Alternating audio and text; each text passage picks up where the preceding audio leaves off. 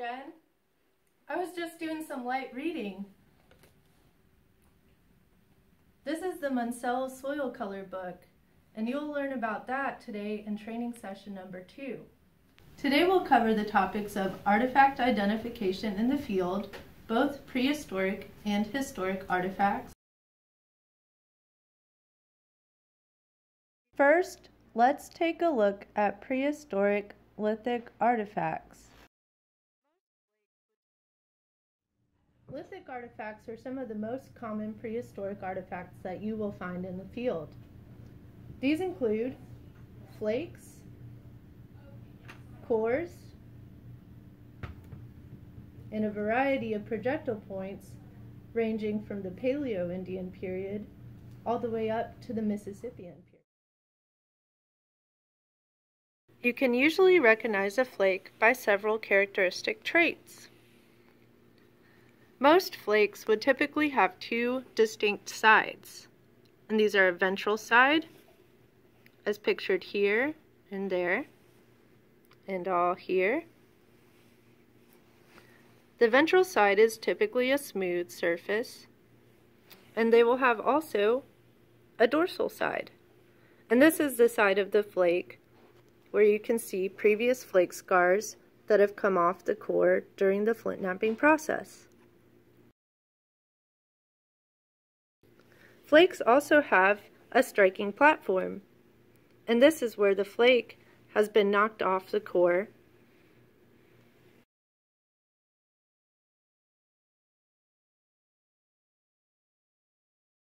Another type of lithic debitage comes in the form of what we call angular shatter. These are not as easy to identify as flakes as they do not possess a clear ventral and dorsal side. However, you can identify them typically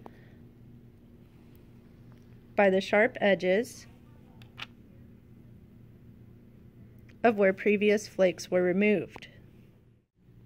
Cores are usually larger than flakes, and you can typically distinguish them by a large chunk of chert rock or other similar microcrystalline rocks The process of creating a stone tool begins with the core. And on some of these samples you can see where a series of flake scars appear, such as here and here. These are where flakes have been reduced. Projectile points are among the most fun to find in the field. When found, these are important because they represent the certain time period at which the site was occupied. Projectile points are considered to be a diagnostic artifact. Certain points are made in different styles. And we can usually distinguish the styles by the base of the point or a hafting element. Certain hafting elements were used to attach a projectile point to a spear or even an arrow. When identifying a groundstone tool, you want to look for certain traits, such as uncharacteristically smooth rock, divots in the rock, or evidence of pecking on a certain surface.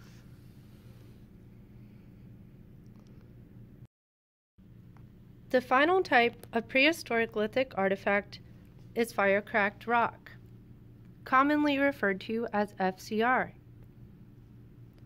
This type of rock is sometimes used in fire pits and it cracks during the heating process, thus the name. Now let's take a look at prehistoric pottery.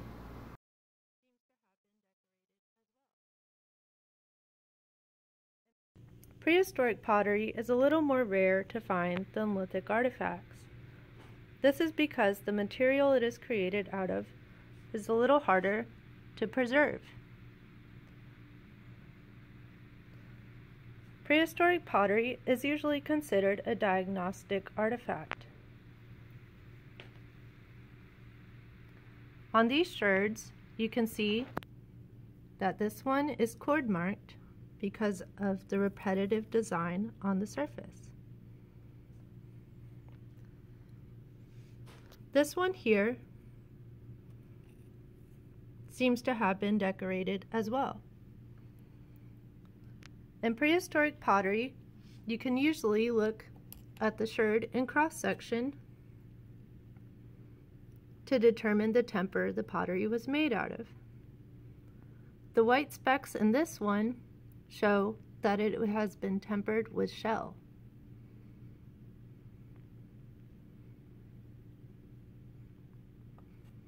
Some pottery has different tempers, and these can include crushed rock, sand, and grit. It is easy to confuse prehistoric pottery with a smooth rock. However, all you need to do is look at the temper.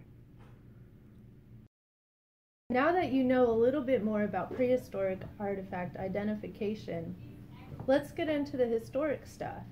Historic artifacts include, but are not limited to, ceramics, metal, glass, and brick.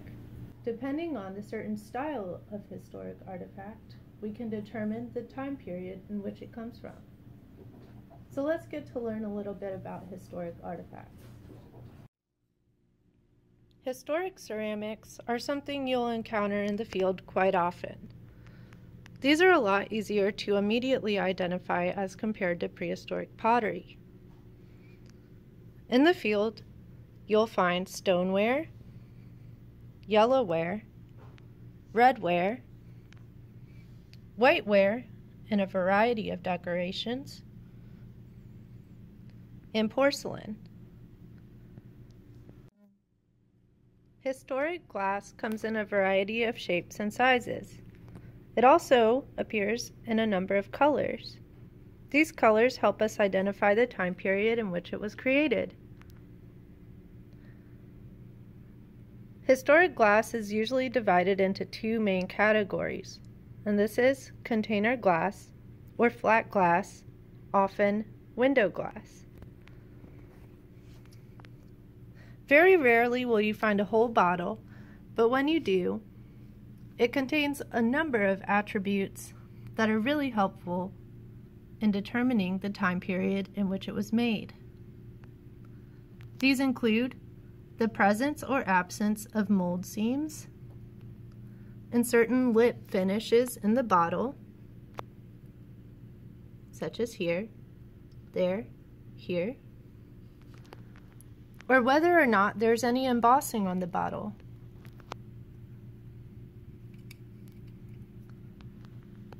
Certain bottle bases are also important to determine the time period in which it was made.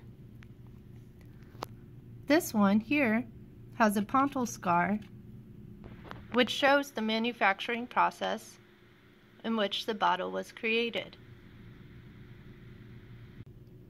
You also may encounter a number of architectural materials. This does include window glass, as well as nails, bricks, spikes, doorknobs, and more. On certain nails, you can tell that they were cut instead of the more modern version of wire nails that we see today. You can tell by looking at the profile of these nails and how they taper on one side, here, and they're straight on the other side, here.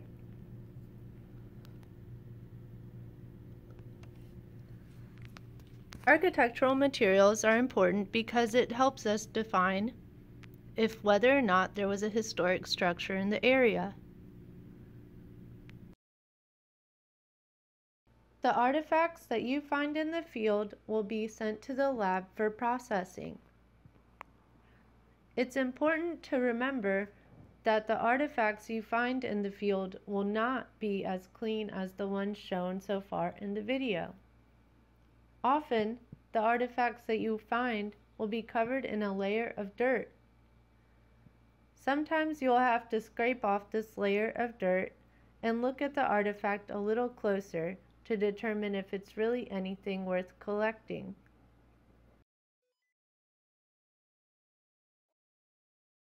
So now you should feel a little bit more comfortable identifying prehistoric and historic artifacts in the field.